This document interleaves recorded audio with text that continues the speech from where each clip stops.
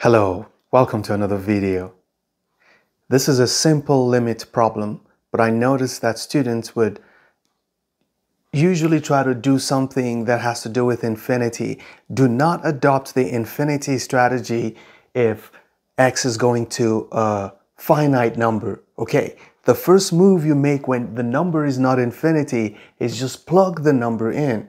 And if I plug in 1 to the top and the bottom, I'm going to get 1 minus 1 over 1 minus 1, which gives me 0 over 0. So that is an indeterminate form, which once you get indeterminate form, you know that you can do some algebraic manipulation to take care of the problem.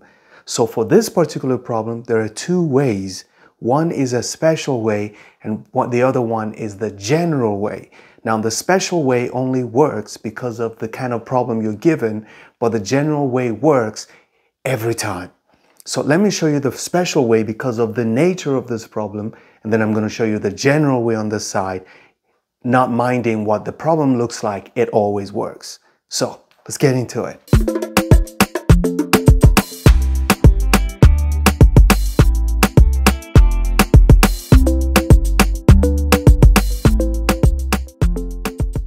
The first move we're going to make is look at the bottom. It looks like the square of this is this. So I can treat the bottom as the difference of two squares because one is a perfect square. So I can go ahead and do it this way.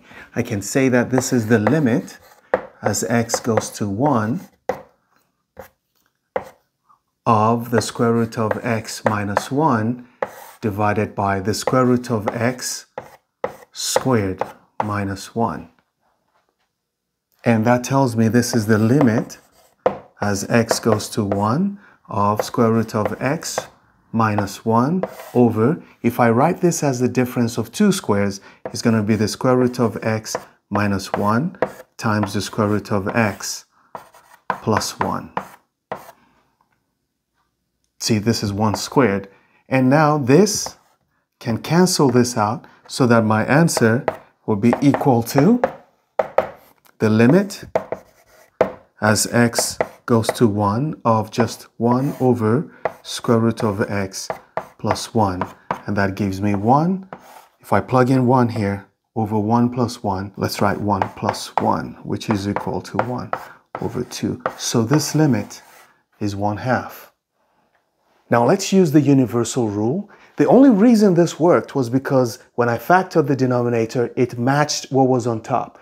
If this number here was 2, it becomes impossible. I cannot cancel them out and it wouldn't work. So now I'm going to show you what you should do whenever you have an expression that involves a radical and you have a finite number here. Remember, if we were dealing with infinity, it would be a different strategy. So the general method says whenever you have a radical and this is finite, always rationalize the radical. So whatever this is, if this was on, in the bottom here, what you want to do is you want to rationalize. If it's at the top, you rationalize also. So we're going to say this is this limit as x goes to 1 of the square root of x minus 1 divided by x minus 1 is equal to the same limit as x goes to 1 of the square root of x minus 1 over x minus 1 multiplied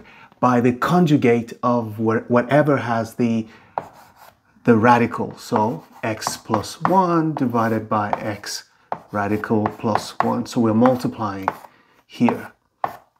So this is going to be equal to the limit as x goes to 1 of, if we multiply this by this, remember if you multiply two radicals, the conjugate, it just gives you the square of the first term minus the square of the second term. So on top here, you're going to end up with just x minus 1. And in the bottom, what do you end up with? Every time you rationalize, my recommendation is do not distribute the denominator. Okay, only take care of the part that has the conjugate. The other part, leave it that way. So as you can see, when doing this multiplication, we're gonna have x minus one times the square root of x plus one in the denominator. And we know that um, this will cancel the stop part. So we end up with the limit as x goes to 1 over square root of x plus 1. And what do we get? Well, our answer is going to be equal to, you plug in 1, the same answer as you got here, it's going to be 1 over 1 plus 1, which is equal to 1 over 2. Never stop learning. Those who stop learning have stopped living. Bye-bye.